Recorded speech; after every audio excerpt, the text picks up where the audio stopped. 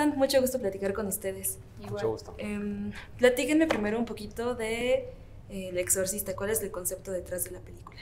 El concepto de la película surge de una idea que me traen mis co-guionistas, eh, Ricardo Farías y Cristian Cueva. Ellos me, me, proponen esto casi como un juego de qué pasa si hacemos una película de exorcismos, pero donde la, la exorcista en este caso sea una mujer.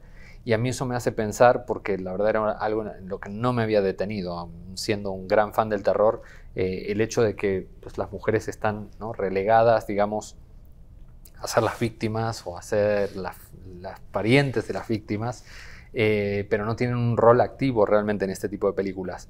¿Y, qué significa eso dentro de, ¿no? de, de la iglesia también, del del, del, status quo en la iglesia eh, y me pareció una cosa interesantísima como para construir la película un poco a partir de ahí y, y, a partir de eso también ponernos a jugar y a darle la vuelta un poco a algunos clichés del género eh, y de ahí surge un poco hacer la exorcista.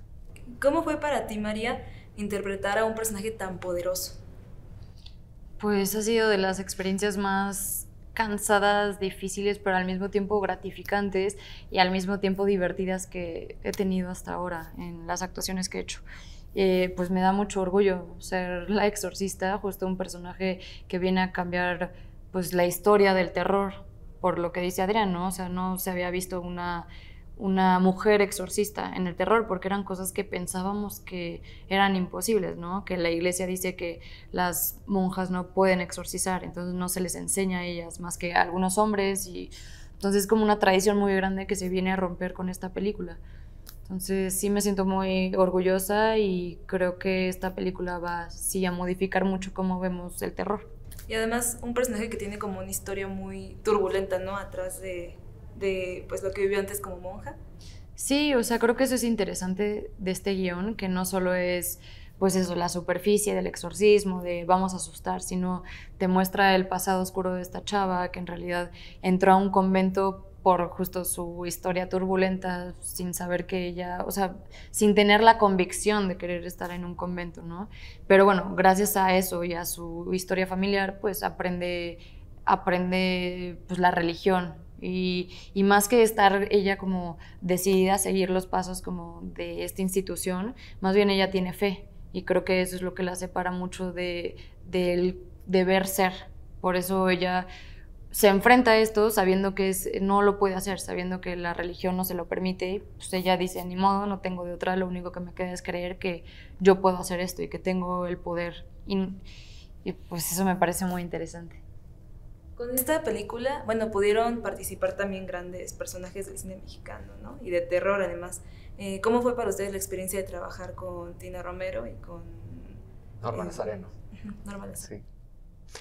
Bueno, para mí fue espectacular, digamos, tenerlas en, en la película ellas y, y, yo soy muy fan de, de, del trabajo de María y la verdad es que a mí como cinéfilo, la verdad me pareció una cosa divertidísima, hermosa poder juntar a dos generaciones así, ¿no? Y tenerla a María este, de pronto enfrente de, Tina Romero, ¿no? De Alucarda, nada menos, eh, o de, o de ¿no? Norma, que fue Kitty en Hasta el viento tiene miedo. Bueno, Norma además, que es para mí la, la actriz más importante, digamos, de la historia del, del, terror latinoamericano, digamos, porque ella además ha estado ahí este, eh, frente, a, frente a Santo, frente a, ¿no? O sea, ha trabajado con los Cardona, con un montón de gente.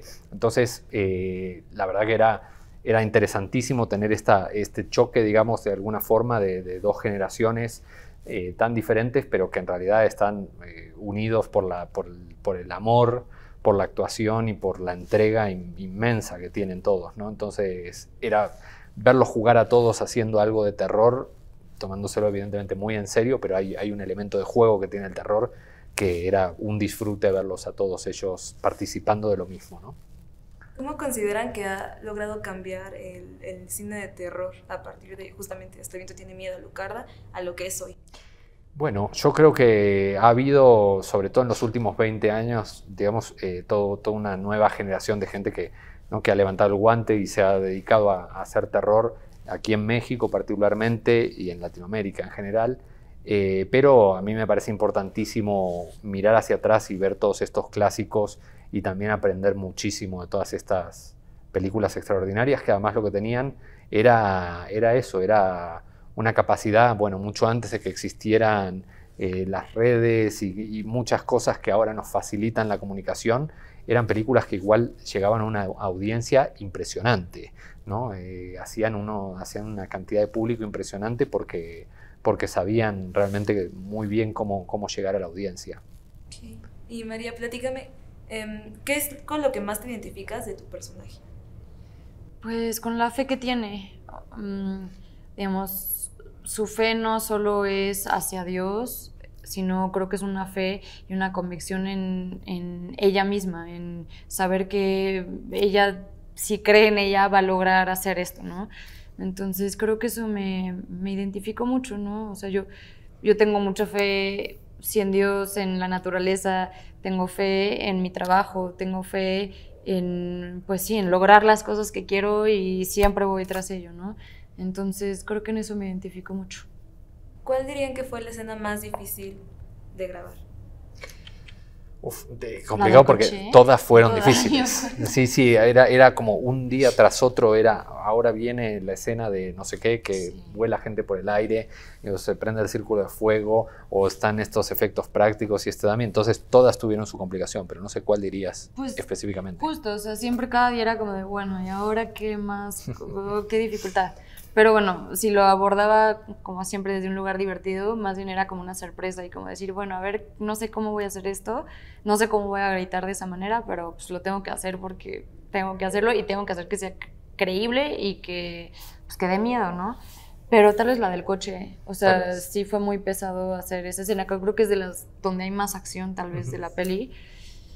Eh, sí, porque ahí era estar metidas Pilar y yo eh, las dos gritando así en un estado de, delirio, pero pues eso no quita que a mí me dé risa. O sea, sí soy actriz y soy muy profesional, intento mantenerme ahí, pero de pronto estar como sobreviviendo ataques de risa, como decir, no, ¿qué estoy haciendo? O sea, qué locura, como toda esa transición, pues creo que fue difícil. ¿Y em, en el set hubo algún evento sobrenatural? ¿Se espantaron? Te dice que pasa mucho en este tipo de películas. Sí, nosotros lo que pasa es que creo que, y compartimos un poco con María la idea de que nos gusta mantener una, eh, una energía, digamos, donde no, no, dejamos que eso, o sea, que las cosas oscuras que pasan en la película nos permeen mucho, ¿no? Sino que tratamos de tomárnoslo más como un juego y, y pasárnosla bien. Creo que si uno está un poco en ese estado mental, no, no, no, no se deja este, abordar por estas cosas más oscuras. Porque si no, o sea, y lo sé porque como que me ha pasado en otras películas, ¿no? O sea, si alguien te empieza a decir que, ay, es que el otro día escuché y que no, y que, ay, algo está pasando, pues empiezas tú mismo a crear esa energía y también entre la gente se va haciendo como una, pues, cosa colectiva de tensión, de miedo, ¿no? Entonces justo... Por suerte, con Adrián sí fue esto, como que yo sentía, pues qué divertido venir al set a hacer estas cosas que en la vida real no puedo hacer, ¿no? Y ahora, el final es un poco abierto. ¿Habrá la posibilidad de una segunda parte?